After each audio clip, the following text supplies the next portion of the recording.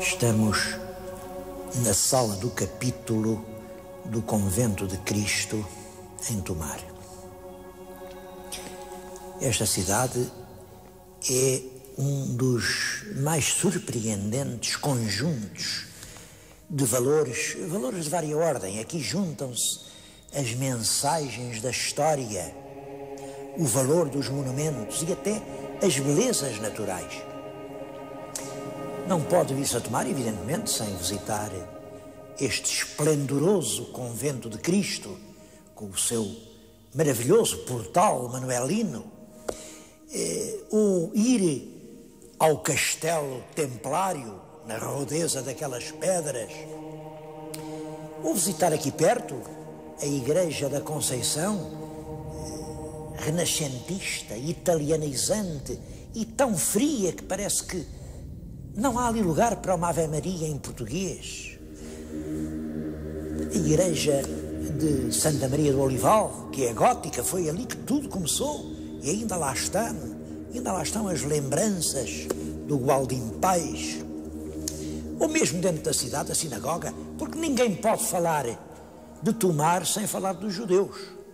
Foi aos judeus que se deveu o extraordinário impulso, o incremento industrioso trabalhador que fez crescer a pequena aldeia fundada por Gualdim Pais e ser já uma notável vila no século XVI. Ela cresceu constantemente, século XIII, XIV, XV, até que, claro, quando os judeus foram expulsos, Tomar caiu perpendicularmente no século XVI.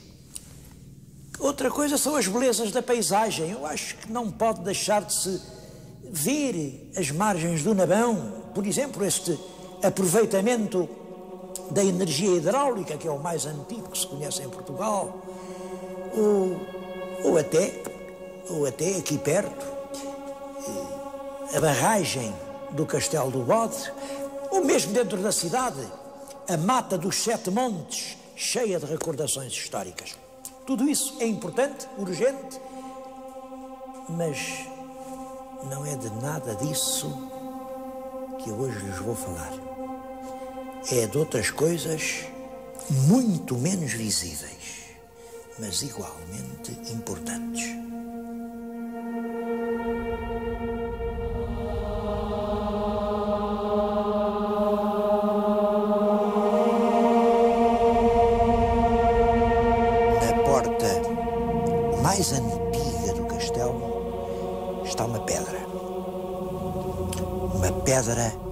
O sinal dos templários.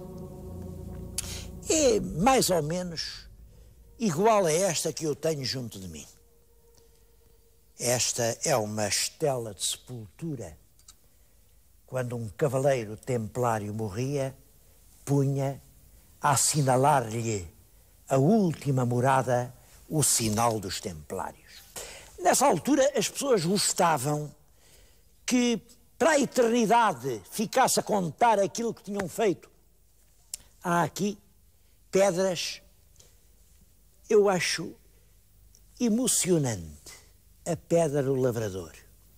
Está ele próprio, para todo sempre, com a aguilhada a guiar os seus bois, os bois que arrastam o arado, o arado que fez esta terra. Outros os cavaleiros só tinham a espada, punham a espada na campa da sepultura. E a maioria, os mais modestos, punham só a cruz dos templários. E eu vou-lhes falar da cruz dos templários. Reparem, está junto de mim, é um círculo, e dentro do círculo, com um compasso, com o mesmo, com o mesmo raio do círculo, se puser aqui, dá este traço, este e divide o círculo em seis partes, em oito partes, em oito partes.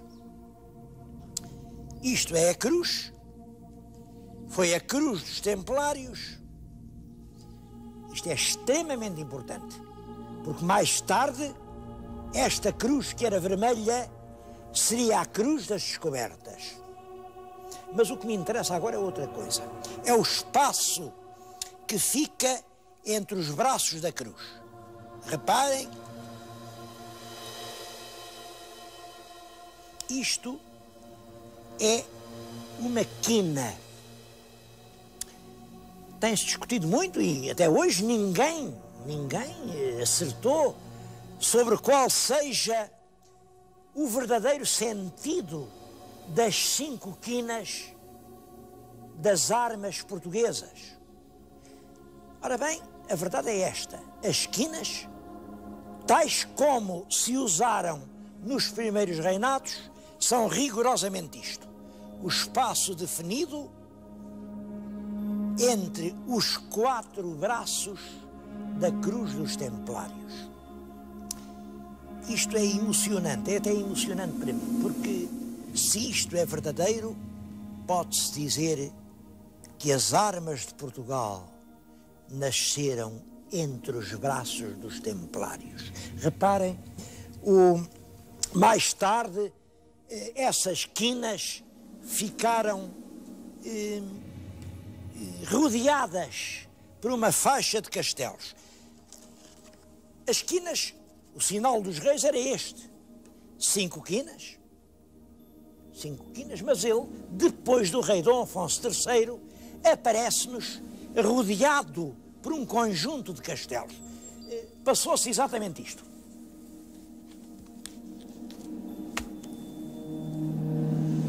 As pessoas discutem muito o que é que aconteceu, porque é que aparecem os castelos. Uns dizem, ah, isto é os sete reis mouros, os sete reis mouros que Dom Afonso Henriques venceu na Batalha de Ourique. Outros dizem, não, isto é os castelos do Algarve que o Dom Afonso III conquistou. Outros dizem, não, isto é uma homenagem a Castela, porque Dom Afonso III casou com uma castelhana. Diz tanta coisa que eu já agora também vou dizer a minha. E não é uma certeza, o objetivo deste programa não é uma catequese, é uma ginástica. Cada um que pense por si. Eu penso que quando Dom Afonso III, infante, imigrante, pobre, chegou à França, só tinha um apoio. Era a tia, a tia rainha de França e rainha regente. A regente Dona Branca de Castela. Essa rainha apoiou fortemente, fez dele o chefe da cavalaria francesa contra os senhores feudais. E, portanto, o nosso infante se apresentasse só a sua bandeirinha com as quinas, ninguém sabia quem era. Mas se dissesse a verdade, quem me sustém é a rainha, minha, minha tia.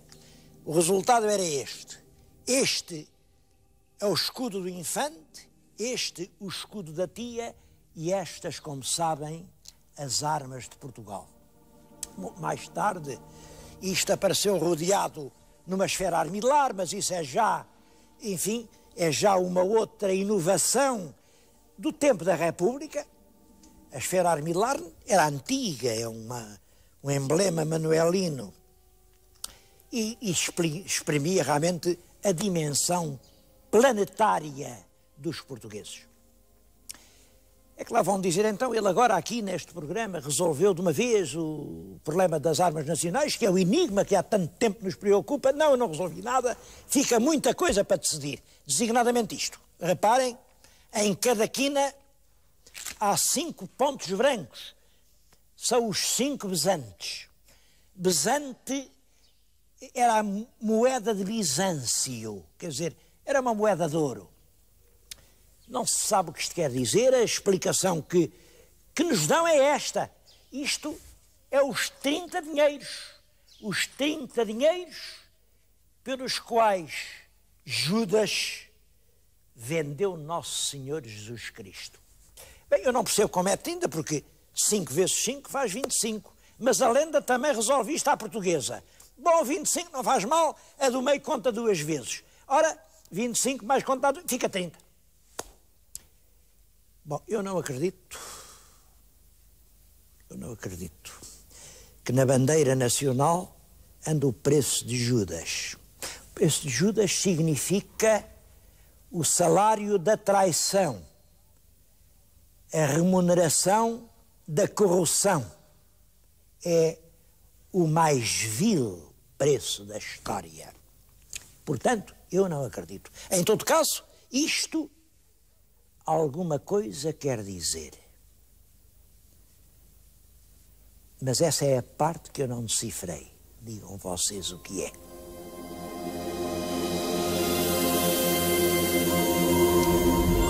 A cruz dos Templários foi substituída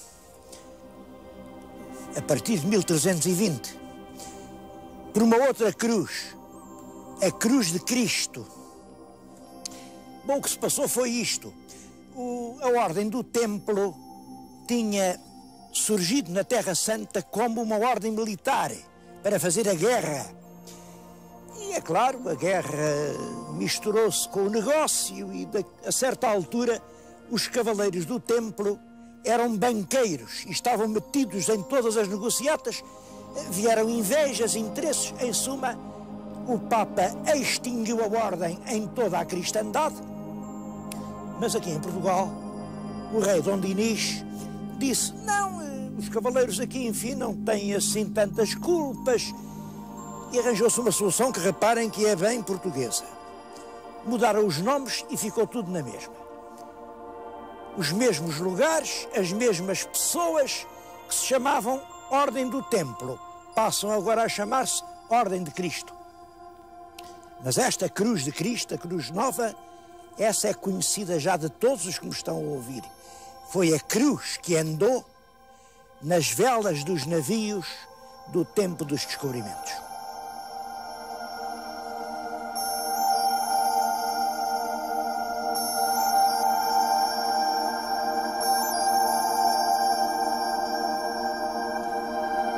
Os descobrimentos trazem-nos ao infante Dom Henrique, o navegador.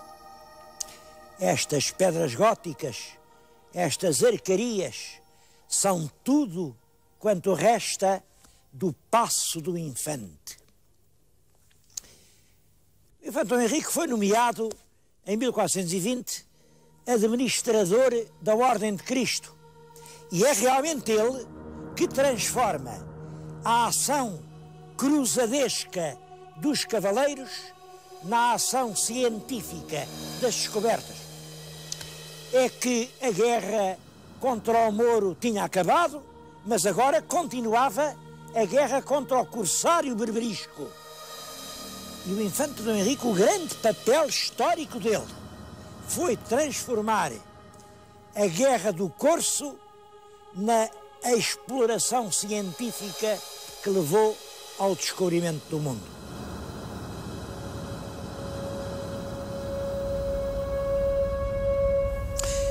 Por isso, a cidade de Tomar tem muito orgulho na memória do infante.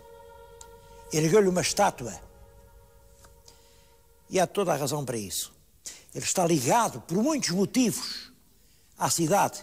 Foi ele quem fez construir este lindíssimo claustro em que nos encontramos. E mais, devem-se-lhe eh, o primeiro arranque industrial, as saboarias, os chamados moinhos da ordem, que era o aproveitamento hidráulico das águas do Nabão. Para isso, regularizou o curso do rio. Mais do que isso, foi ele quem, pela primeira vez, imaginou a povoação racional. E a tomar do seu tempo não era o labirinto de ruas medievais, não.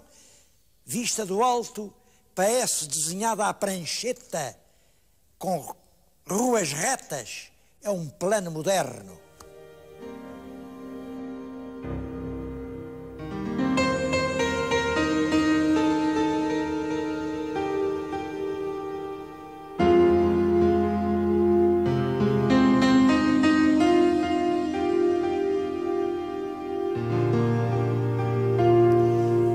O mais famoso monumento de Tomar é, e, e com toda a razão, esta extraordinária janela junto à qual me encontro.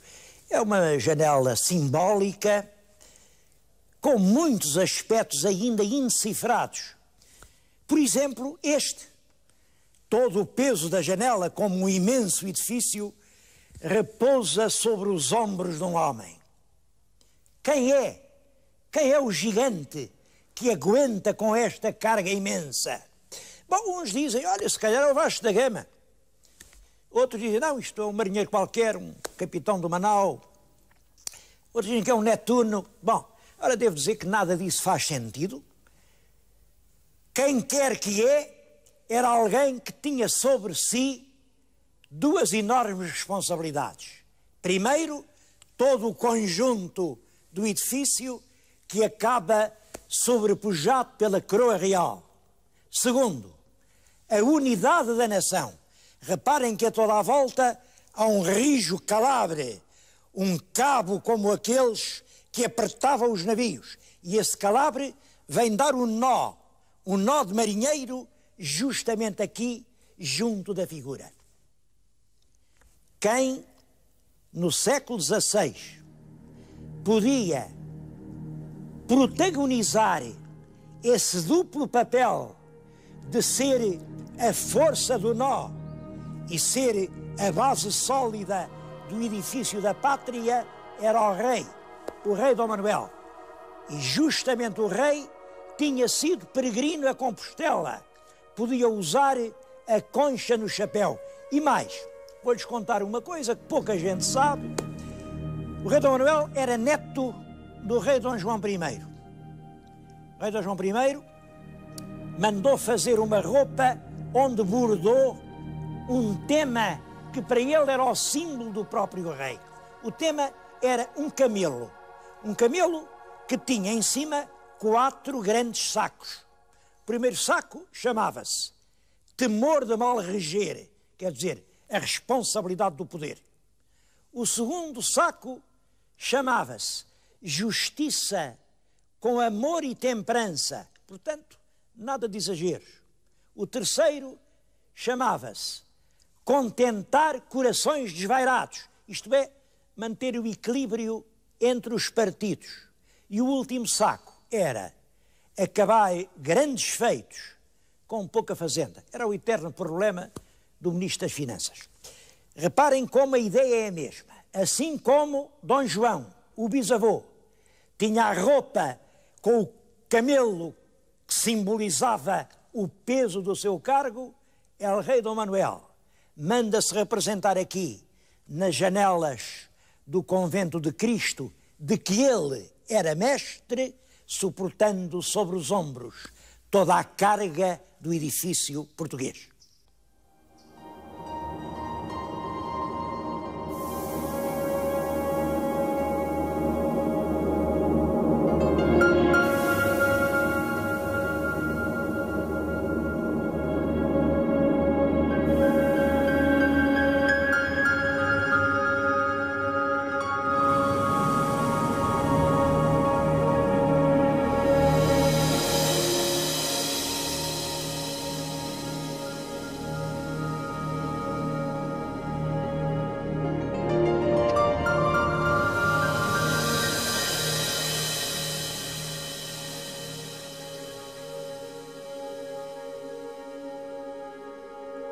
Em Tomar, a história não parou com o rei Dom Manuel. Continuou a construir-se muita coisa.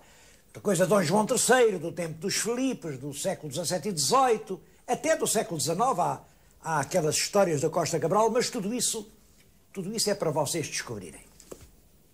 Para a semana eu propunha que fôssemos a uma outra povoação fortificada. Vamos a Óbidos.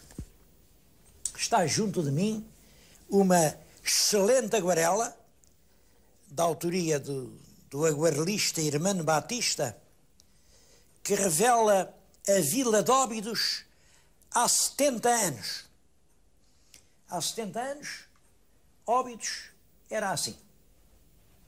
Eu proponho que vamos até lá, exatamente no sítio onde o pintor pôs o seu cavalete e a sua paleta vamos nós pôr a câmara e assim poderemos ver até que ponto Óbidos mudou.